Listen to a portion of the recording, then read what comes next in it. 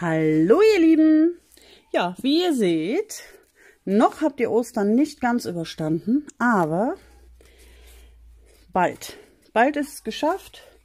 Ups, mein Hühnchen hat seinen Kampf verloren. Und heute möchte ich aber mit euch diese lustigen Hühner machen. Und die sind richtig cool. Darum habe ich gedacht, die muss ich euch unbedingt noch zeigen. Die könnt ihr auf eure Eierbecher setzen.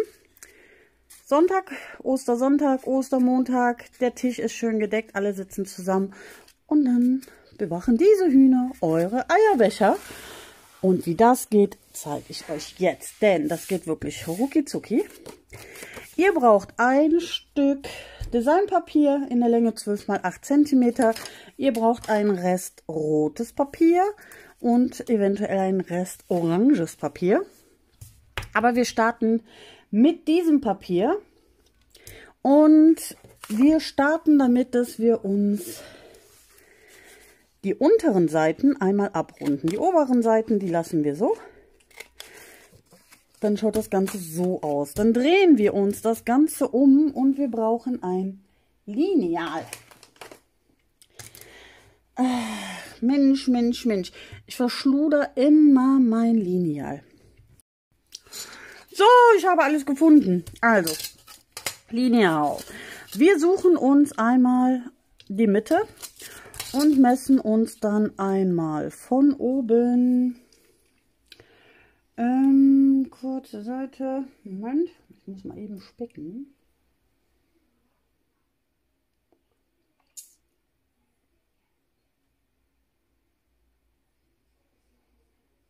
Fünf Zentimeter.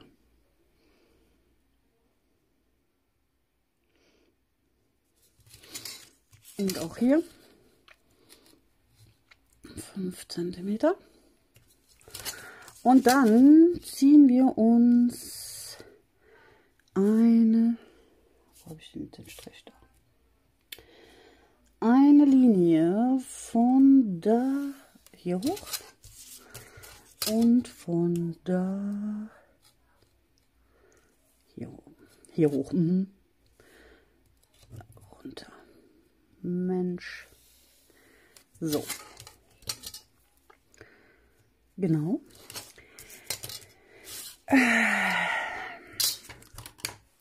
Diese Seite schneiden wir jetzt ab.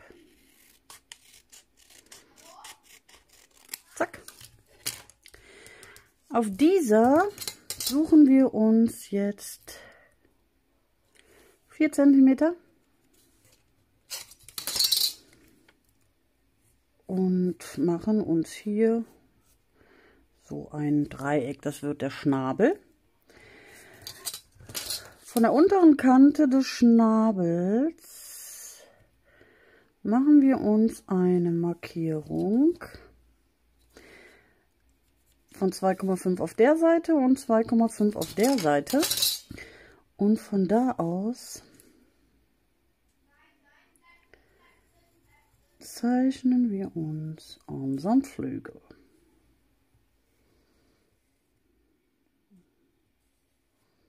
Einfach so. So, das war's erst einmal. Dann nehmen wir uns ein Skalpell, eine Schere oder wie auch immer und schneiden die Linien auf. Den Schnabel, Könnt auch eine kleine Schere nehmen.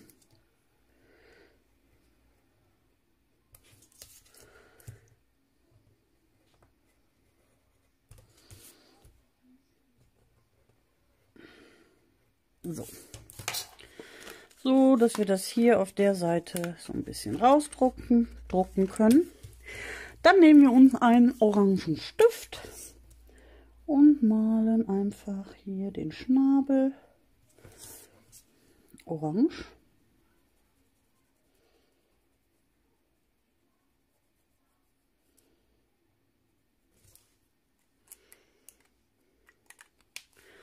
Dann nehmen wir uns einen schwarzen Stift und setzen über den Schnabel zwei Augen. So, das war es auch schon.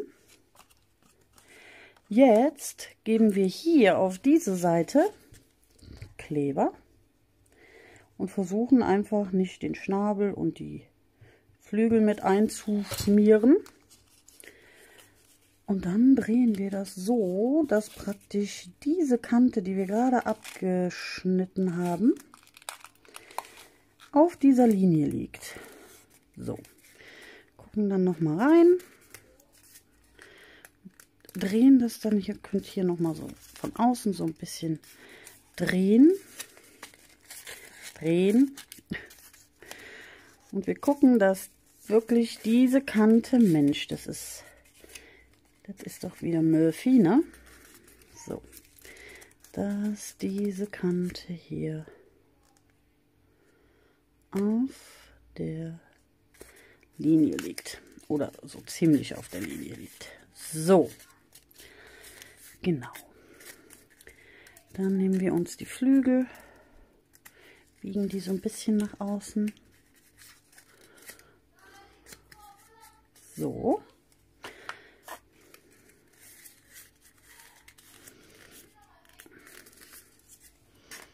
Und damit ist unser halbes Hühnchen schon fertig, ne? Jetzt brauchen wir ein paar Füße. Und die zeichne ich mir jetzt einfach so.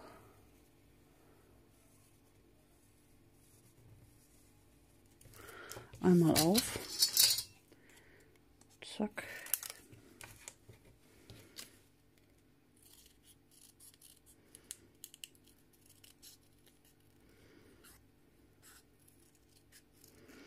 Da gibt es gar nicht viel dran zu beachten. Das Hühnchen sollte halt drei Zehen haben. Und ansonsten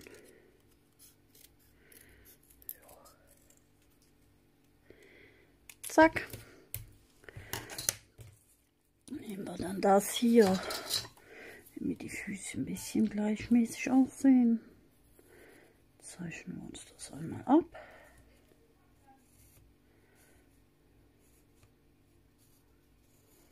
Ein bisschen. Zack und schneiden uns auch das aus.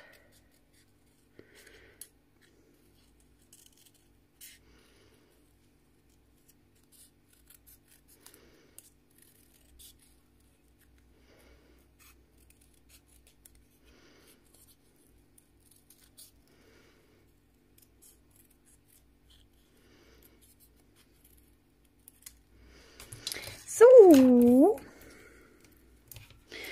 und dann fehlt uns noch, und zwar, voilà, fehlt uns einmal der Kamm.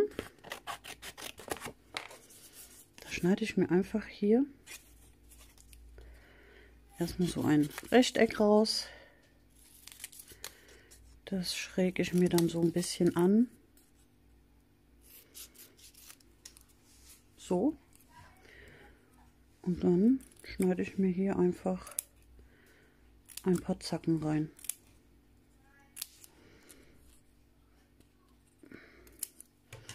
Und fertig ist mein, mein Kamm. Und dann brauchen wir noch ein Herz.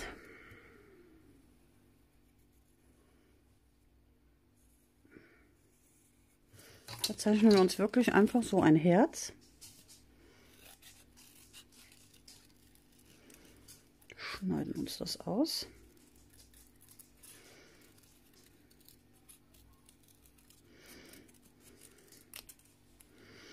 Und schrägen das einfach hier unten so ein bisschen ab. Knicken das einmal in der Mitte. Und dann schieben wir das unter den unter den Schnabel. So. Den Kamm. Dann machen wir hier so ein bisschen Kleber nur dran, wirklich nur so ein bisschen. Und den schieben wir dann hier so rein.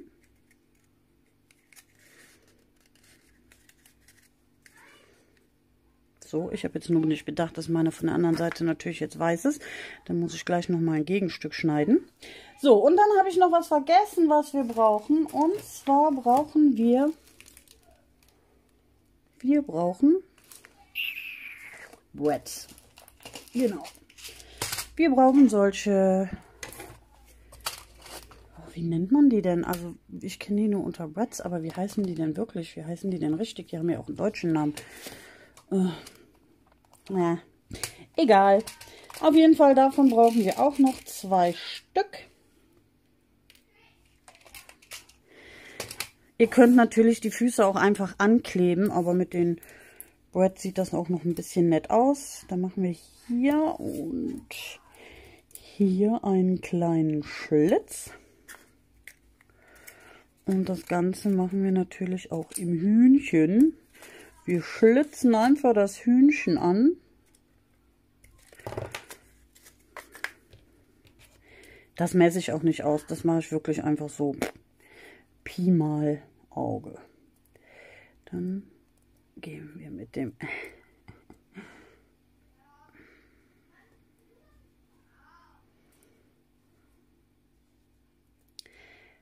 So, mit dem Brett hier rein und einmal hier rein. Hm. So. Und dann einfach von innen, wie wir das ja so kennen, aufbiegen.